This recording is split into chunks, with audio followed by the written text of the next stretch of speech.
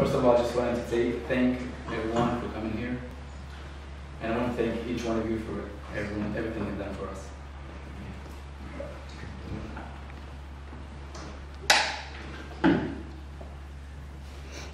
Hi.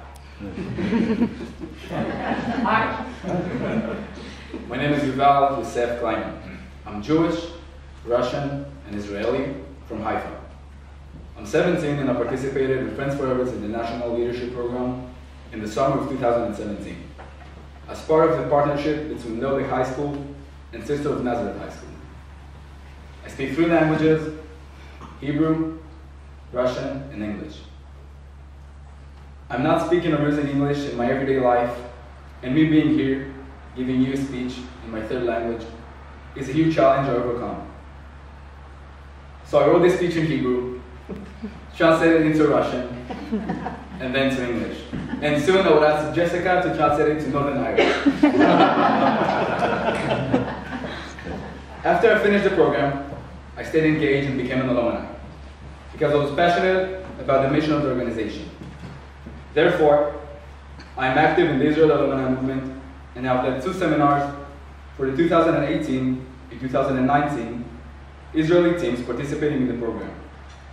The participant seminar, which is also called the team building seminar, is the first interaction the participants have with the alumni. Although the seminar is tough and very challenging, this did not stop me from ordering pizza at midnight when I was a participant. Don't learn from me. I also helped plan an alumni seminar, which was by the alumni for the alumni.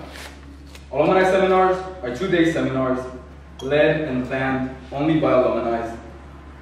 From all the years, from 2008, which is our first year of program in Israel, till the last cycle of participants, coming all together, sharing stories, leading workshops, creating friendships, and feeling like one big family, when everyone on the same level, regardless of age difference. This past summer, I was fortunate to come back as the 2019 Robert Raiche Fellow. And as an alumni trainer, led five teams from Israel and from Northern Ireland, here in our campus in New Hampshire, and as well in our base in Bloomington, Illinois.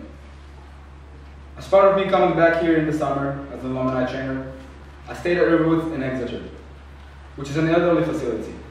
While staying there with my best Northern Irish friend, Clayton, who's also an alumni trainer, what a coincidence. we created a fitness workshop and facilitated it to the residents, working on all their body muscles and their brain functionality. Both me and Clayton are interested in fitness and working with the residents made us go out of our comfort zone and think outside the box. I'm used to a very different experience with my grandma in her, her elderly home. Back home, there are many cases of violence against residents in their elderly homes, and most of the people working in elderly homes are not enjoying their job. So staying at Riverwoods was an eye-opening experience for me. I could really see both the residents and the staff, always with a smile on their face. And staying there made me realize that elderly homes doesn't have to be a negative thing. This fall, I'm back again as an alumni trainer to lead our team who is currently here from Northern Ireland, Belfast. While participating in the program, I first experienced mindfulness and meditation, which was led by alumni to us. So as part of all the many skills I've gained from the part, being part of Friends Forever leadership program, I've researched about mindfulness and meditation. And now I'm feeling comfortable facilitating mindfulness with different objectives to our young participants, and I'm using it every single day in my everyday life. So my family came to Israel in the early 90s from Odessa, Ukraine. My two grandfathers and my father served in the Soviet army, and my grandfather fought against the Nazis in World War II at the age of 16. So I come from a very right-sided politically family. I truly understand why my family is right-sided. I know my family has a survival instinct. After seeing their closest family members getting shot or burned alive in the Holocaust, or getting discriminated in their hometown in Ukraine. Those experiences made them be against everyone they might feel threatened by. And coming here as a participant made my family raise an eyebrow.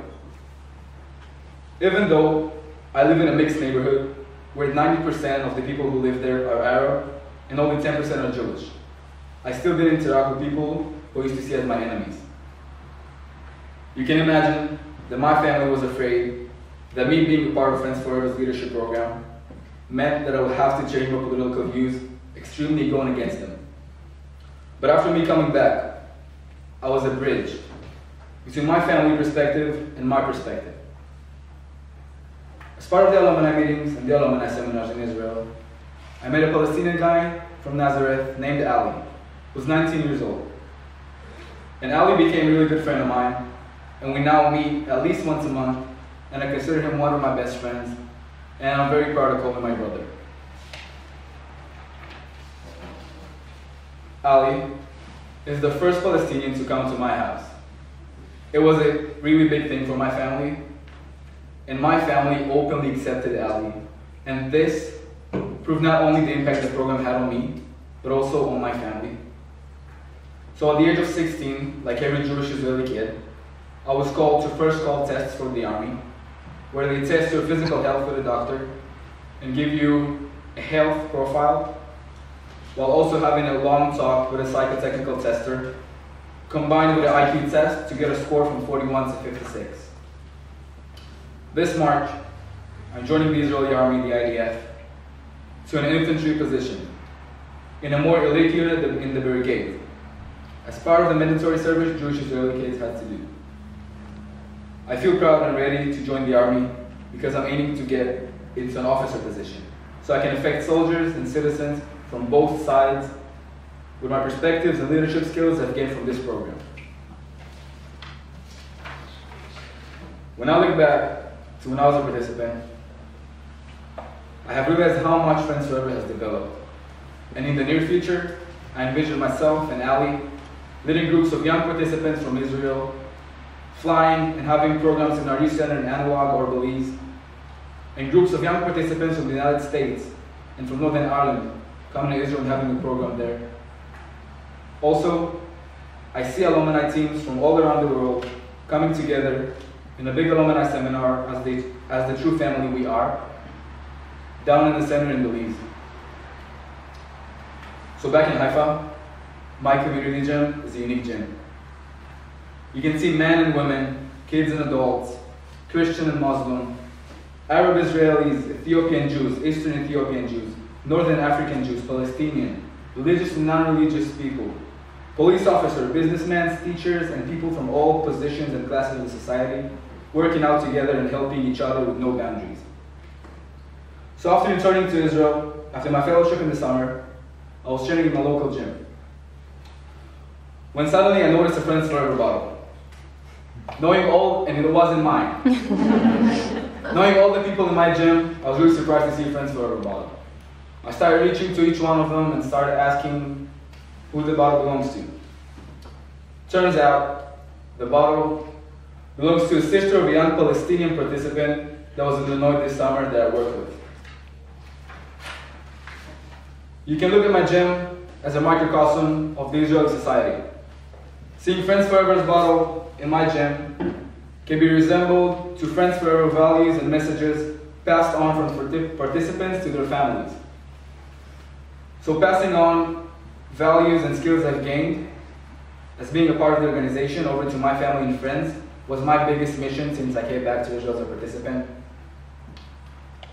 The story about a bottle of the young participant in my gym, the sister of the young participant in my gym, connects to my far future goal, which is slowly seeing different people from different cultures in different positions, for example, army, hospitals, politics, affecting different people by using the leadership skills and mindset they have gained from Friends Forever's leadership program, and passing those skills forward into other people, who will then pass it on to other people. And then, slowly and quietly, we will have a world full of good leaders. And after seeing the change with my family, I know that if we could change my family's perspective, we can change the whole world. Thank you.